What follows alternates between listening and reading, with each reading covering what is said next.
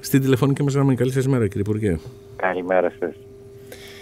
Ε, κύριε Υπουργέ, έχουμε διαβάζουμε εδώ πέρα τώρα τον τελευταίο καιρό, έχουμε κλείσει το θέμα των θρησκευτικών με την Εκκλησία και έχουμε ανοίξει άλλο θέμα, αυτό με τις έμφυλες ταυτότητες.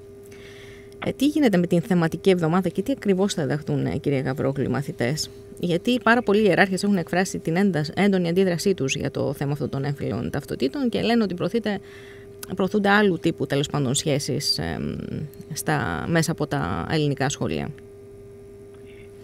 Καταρχήν να σας είμαι ειλικρινής το βρίσκω και λίγο αστείο αυτό διότι είναι μια θεματική εβδομάδα, μια πρωτοποριακή πρωτοβουλία του Υπουργείου Παιδείας όπου θα συζητηθούν τα εξής τρία θέματα. Πρώτον τα θέματα διατροφής. Αν υπάρχουν οικογένειες που είναι ήσυχες με το τι τρώνε τα παιδιά τους ή και οι πολίτες αυτής της χώρας. Ξέρετε πάμε όλοι μας στα σούπερ μάρκετ και βλέπουμε πίσω στις ταμπέλες αυτών που αγοράζουμε πράγματα που είναι μόνο χημικές ονομασίες. Υπάρχει λοιπόν ένα τεράστιο πρόβλημα καταρχήν στα θέματα διατροφής. Το δεύτερο, εξίσου σημαντικό, είναι τα θέματα εθισμού. Και ξέρετε δεν είναι μόνο για τα ναρκωτικά, που είναι εξαιρετικά σοβαρό είναι και ο εθισμός στις νέες τεχνολογίες.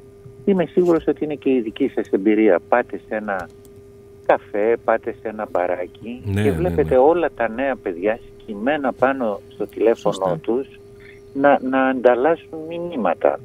Αυτά είναι ζητήματα που πρέπει να τα δούμε. Μικρά παιδιά τους χαρίζουν video games τα οποία μέσα σε πέντε λεπτά που είναι το παιχνίδι ας πούμε μπορεί και να σκοτώνουν καμιά σαρανταριά λεγόμενους κακούς.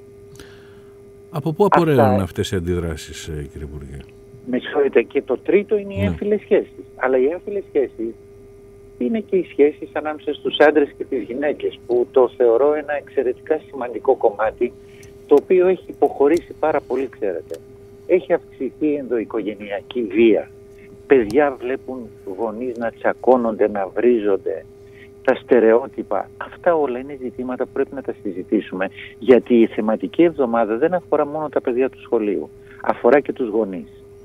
Άρα θα πρέπει νομίζω να τα δούμε πολύ ψύχρεμα. Τώρα μέσα σε αυτό ειδικά για το υλικό που προορίζεται στους γονείς όντως υπάρχει και το θέμα της ομοφιλοφιλίας. Μμμ. Ξέρετε έχουν καταστραφεί οικογένειες γιατί κάποια στιγμή τα παιδιά τους είπαν να αντιμετωπίσουν αυτό το πρόβλημα και δεν είναι σε θέση να το χειριστούν. Είμαστε σε ένα σύγχρονο κόσμο και αυτό που λέμε είναι να το συζητήσουμε. Δεν λέμε ούτε να υιοθετηθούν οι α απόψεις ούτε οι β απόψεις. Όποιος θέλει να τρώει τηγανιτές πατάτες κάθε μέρα ή όποιος θέλει να παίζει, συνεχίζει να παίζει βίντεο ή να παίρνει στα παιδιά του, ας το κάνει. Αυτό Δηλαδή είναι. θεωρείτε Τώρα- ότι είναι πολύ πρωτοποριακό για να το αντέξουν μερικοί κύριε Υπουργέ. δεν θα ήθελα να πάω τόσο μακριά. Νο, κοιτάξτε, νο- νομίζω ότι είναι ε, έτσι αντιδράσεις Μμμ. για να γίνονται αντιδράσεις. Πραγματικά νομίζω ελάχιστοι από τους αντιπολιτευόμενους σε αυτό το θέμα, όχι πολιτικά, έσκυψαν πάνω σε αυτά τα ζητήματα. Και να σας πω κάτι. Εγώ άκουσα και τις δηλώσεις του Αρχιεπισκόπου μετά τη λειτουργία των τριών ιεραρχών. Που λέει ας αναλογιστεί ο καθένας μας τι, δι- τι είδους οικογένεια θέλει να φτιάξει και τι είδους πατρίδα θέλει να φτιάξει. Εμένα με καλύπτει αυτό. Μάλιστα. Ε, Υ- Υπουργέ, ε, πώς σχολιάζετε την ε, πρόταση των ε, Πριτάνιων να μειωθούν οι σακτέοι στα πανεπιστήμια; Ποια είναι η δική σας Ε, θέση του Υπουργείου; Η, η θέση του Υπουργείου είναι ότι δεν υπάρχει περίπτωση να μειωθούν οι εισακτέοι στα πανεπιστήμια. Τα πανεπιστήμια πρέπει να μπορούν να δέχονται όσους θέλουν να σπουδάσουν αυτό που επιλέγουν και ξέρουμε ότι πολλά παιδιά δεν σπουδάζουν αυτό που θέλουν και όσα και αν είναι αυτά τα παιδιά. Ε, τώρα, να βρούμε τρόπους να έχουμε περι- μεγαλύτερη υλικοτεχνική υποδομή κτλ. Αλλά πράγματα που λέγονται 50% λιγότερα, αν και δεν Ναι. νομίζω να λέχθηκε με αυτή την έμφαση. Και να σας πω και κάτι άλλο. Κριτήριο ακαδημαϊκότητας δεν είναι οι λίγοι φοιτητές στα πανεπιστήμια. Τα πανεπιστήμια, υπάρχουν πολλά πανεπιστήμια με πολλούς φοιτητές που κάνουν εξαιρετική δουλειά. Άρα μην, μην ανακατώνουμε πράγματα εκεί που δεν υπάρχει λόγος να τα αναδεικνύουμε. Όχι σε εσά, η κριτική μου προφανώς δεν είναι σε εσάς. Ναι, ναι, βέβαια. Εσείς καλώς κάνετε και με ρωτάτε. Ε, και απαντήσατε πάνω σε ναι. αυτό το να βρούμε τρόπους για να υπάρχει υλικοτεχνικός εξοπλισμός, να βρούμε κονδύλια. Σε αυτό πάνω είπατε, ναι. έχετε να μας παρουσιάσετε κανέναν τρόπο. να βεβαίωτατα, βεβαίωτατα. Είναι, είναι, Καμία ε, είδηση θα μας δώσετε, κύριε Υπουργέ. Κοιτάξτε, η είδηση είναι ότι η κρίση, το πιστεύω βαθύτατα αυτό, αρχίζει να δείχνει δειλά σημεία ότι την ξεπερνάμε, δειλά, αλλά πολύ σταθερά και ότι οι θεσμοί μας στάθηκαν στο πόδι, οι εκπαιδευτικοί μας θεσμοί. Και αυτό πρέπει να, να το χρεωθούμε όλοι, όλοι ως κοινωνία.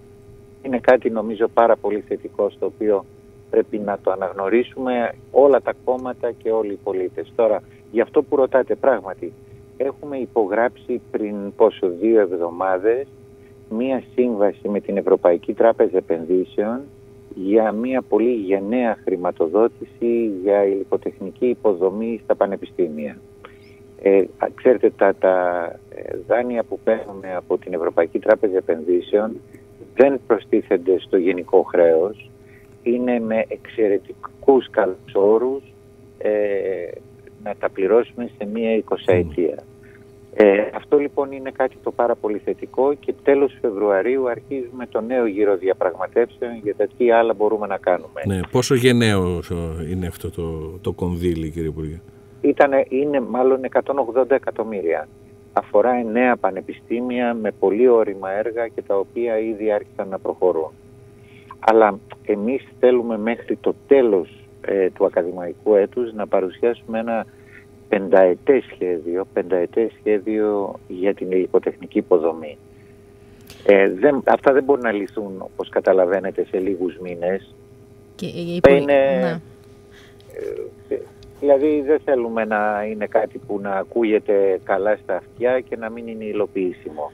Υπουργέ, η σχέση σας με τους Πριτάνες, όχι οι προσωπικές σας, εννοώ του Υπουργείου, ε, μετά την τελευταία σύνοδο είναι αλήθεια ότι έχουν οξυνθεί; Βλέπουμε εδώ κάποια ρεπορτάζ που λένε ότι ε, δεν, δεν, δε, και μάλιστα μια ανάρτηση του κυρίου Ζαπράνη στο facebook που έλεγε ότι αρνηθήκατε να τους, ε, να τους συναντήσετε μετά την τελευταία σύνοδο των Πριτάνεων που ήταν δύσκολη. Ε, καταρχήν δεν αρνήθηκα να συναντήσω κανέναν. Πραγματικά δεν ισχύει αυτό. Δεν θέλω να πω ονόματα, αλλά ήδη έχω δει δύο Πριτάνης μετά τη συνάντηση σε εξαιρετικά καλό κλίμα. Ε, αλλά να πούμε και κάτι άλλο.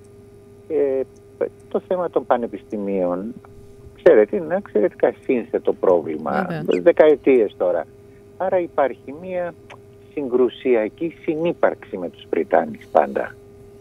Ε, και θα ήθελα με κάθε σεβασμό και στο θεσμό και στα πρόσωπα με πολλά με τα οποία είμαι και φιλικά συνδεδεμένος να σας πω ότι εμείς συζητάμε και με τους κοσμήτορες των σχολών, συζητάμε και με τους προέδρους των τμήματων. Δεν είναι μόνο οι Πριτάνης που εκπροσωπούν τα πανεπιστήμια, αν και βεβαίως έχουν την συνολική ευθύνη. Αλλά αν θέλει κανείς παραδείγματος χάρη να δει τα προβλήματα που έχουν οι φυσικομαθηματικές σχολές, είναι προτιμότερο να κάνει μια συνάντηση με όλους τους κοσμήτορες και τους προέδρους όλων των φυσικομαθηματικών σχολών ε, της Ελλάδος. Και τέτοια έχω κάνει με τους κοσμήτορες παραδείγματος χάρη. Και αυτό θα ήταν λάθος να γίνει αποκλειστικά με τους Πριτάνες, γιατί εδώ ναι. υπάρχουν mm. θέματα του γνωστικού περιεχομένου, mm. επαγγελματικών δικαιωμάτων, άρα εμείς κάνουμε και συστηματικά τέτοιου είδους ε, επαφές και να σας είμαι ειλικρινής, εμένα με εντυπωσιάζει παρά τις κατά τη γνώμη μου ελάχιστες διαφορές και θα το δούμε αυτό σε ένα ε, ότι τα προβλήματα μεταξύ μας είναι τόσο ναι. λίγα. Κύριε Υπουργέ, εκτός από τους ε, κοσμήτορες, τους προέδρους, τους Πριτάνης, έχουμε και τους καθηγητές. Προσφάτως, mm. κατά τη διάρκεια συνάντησης με την ΟΛΜΕ, φέρετε να δηλώσετε ότι έτσι κατά πάσα πιθανότητα θα γίνουν διορισμοί μόνιμων εκπαιδευτικών το Σεπτέμβριο. Ναι. Και υπάρχουν και άρθρα και ρεπορτάζ, ηλεκτρονικά μέσα που λέει ότι ναι. κλείνετε την πόρτα για τις προσλήψεις ναι. των μόνιμων εκπαιδευτικών το Σεπτέμβριο. Τι γίνεται σε αυτό, τι Κοιτάξτε, προσπάθησα, προσπάθησα να, να τους το εξηγήσω πολύ ειλικρινά, θα σας το εξηγήσω και εσάς. Ορισμένοι από το Διοικητικό Συμβούλιο της ΟΛΜΕ θέλαν να μην το καταλάβουν και να κάνουν αυτές τις ηρωικές ε, δηλώσεις. Ο καθένας προφανώς παίρνει τις ευθύνες που του αναλογούν. Ε, εμείς θα ανακοινώσουμε διορισμούς, μόνιμους διορισμούς. Ο λόγος που δεν θέλω να πω τον αριθμό των διορισμών τώρα και θα είναι ένας εξαιρετικά ικανοποιητικός αριθμός είναι για δύο λόγους. Πρώτον, πρέπει να συνεννοηθούμε όλοι για το ποιο θα είναι το σύστημα πρόσληψης. Όταν το σύστημά μας βασίζεται στην εργασία των αναπληρωτών και υπάρχουν αναπληρωτές που εργάζονται για τόσα χρόνια, πρέπει να υπάρχει μια ισορροπία ανάμεσα στην πρόσληψη των νέων παιδιών και όσων έδωσαν τον καλύτερο τους σε αυτό αυτά τα τελευταία χρόνια. Αυτό είναι ένα εξαιρετικά δύσκολο ε, πρόβλημα το οποίο πρέπει να το λύσουμε από κοινού και με τις ενώσεις ε, των διδασκόντων. Το δεύτερο είναι το εξής. Εμείς θέλουμε να ανοίξουν τα σχολεία το Σεπτέμβριο με το σύστημα που χρησιμοποιήθηκε και πέρσι και όταν θα προκηρυχθούν αυτές οι νέες θέσεις το ίδιο το ΑΣΕΠ μας λέει ότι είναι εξαιρετικά δύσκολο να μπορέσει να χειριστεί τις αιτήσεις, τις εξετάσεις αν γίνουν εξετάσεις ή το όποιο σύστημα με τις ενστάσεις του το οποίο μπορεί να φτάνει και σε 100.000 αιτήσεις. Ποιος παίρνει τώρα το ρίσκο να μην ανοίξουν τα σχολεία το Σεπτέμβριο επειδή υπάρχει και ένα τεχνικό ζήτημα; Εγώ λοιπόν λέω να μπούμε μπρος για το άνοιγμα των σχολείων, όχι να περιμένουμε το άνοιγμα και ταυτοχρόνως να αρχίσουν αυτές οι διαδικασίες ε, προσλήψεων. Υπουργέ, στο περίπου ένα λεπτό που μας απομένει, ε, πέραν ναι. των εκπαιδευτικών θεμάτων, να συζητήσουμε και λίγο για την αξιολόγηση. Αν ε, βλέπετε ως μέλος αυτής της κυβέρνησης ε, προοπτική να κλείσει η αξιολόγηση στα τέλη Φεβρουαρίου και να περάσουμε έτσι στο επόμενο βήμα, να, πάρουμε, να πάρει και μια ανάσα η αγορά, ο κόσμος. Ποιο είναι και το επόμενο βήμα, και, ναι. Ποιο, δεν άκουσα. Και ποιο θα είναι, πιστεύετε, το επόμενο βήμα;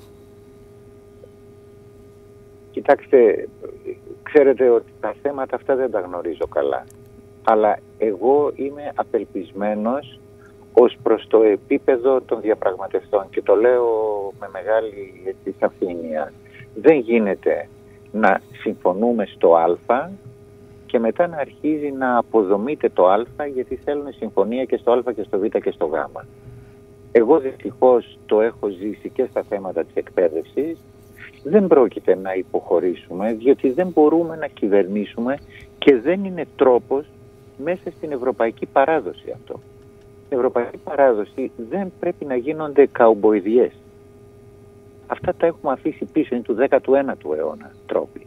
Λοιπόν, εμείς ζητάμε, ελπίζω τώρα ο Πρωθυπουργός να γυρίσει έχοντας στο χέρι του μία, όχι συμφωνία, ε, αλλά μία κατανόηση ότι εν πάση περιπτώσει πείτε μας ποια κουλτούρα θα επικρατήσει στις διαπραγματεύσεις. Μονάζιγα δεν μπορεί η Ελλάδα να χάνει. Κανένα κράτος δηλαδή δεν πρέπει να χάνει. Κύριε Υπουργέ, να σα ευχαριστήσουμε ιδιαίτερα για την παρουσία σας. Ευχαριστούμε πάρα πολύ για τον χρόνο σας. Να είστε καλά. Σας ευχαριστώ πολύ. Καλή σας μέρα, καλή συνέχεια. Καλό Σαββατοκύριακο. Ήταν ο κύριος Κωνσταντίνος Γαβρόγουλου, Υπουργός Παιδείας. Και πάμε έτσι σε ένα μικρό διάλειμμα και θα επανέλθουμε με την υπόλοιπη πολιτική επικαιρότητα και όχι μόνο. Η ώρα είναι 9 και 30. Πρακτορείο 104,9.